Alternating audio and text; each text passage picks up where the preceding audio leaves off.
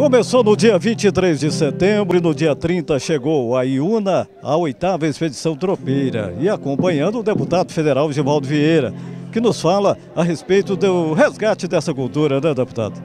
Uma cultura marcante da nossa história, né? O Espírito Santo foi construído com o suor dessa gente que cortou é, caminhos, transportando mercadorias, pessoas, transportando a nossa própria história e permitindo que o Espírito Santo seja hoje esse estado que é. Então, lembrar dos tropeiros é lembrar do próprio povo do Espírito Santo, esse povo trabalhador que construiu um caminho e transformou o nosso Espírito Santo hoje num estado que é reconhecido a nível nacional. Então, meu reconhecimento a essa gente, especialmente aqui para essa região, que tem essa marca, essa história, né?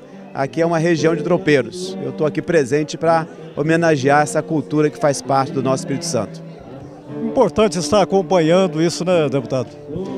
É fundamental que a gente preserve a nossa história, reconhecendo o papel de cada processo, de cada momento, para chegarmos onde nós chegamos, onde estamos hoje. Um Estado desenvolvido, um Estado hoje que está aberto para o mercado internacional, com portos, aeroportos, estradas, um Estado incluído no cenário nacional, mas um Estado que chegou onde chegou porque tem uma história muito forte que resgata vários povos e traz essa cultura, sobretudo da região daqui do Caparaó, em muitas cidades, onde as pessoas daqui construíram né, as suas relações, levando mercadorias, sua cultura, seu jeito de, de ser, sob o lombo né, de burros e mulas, é, com muito sacrifício, mas também fazendo muita integração nos pontos de parada, criando amizades, criando novas cidades, né, que muitas cidades surgiram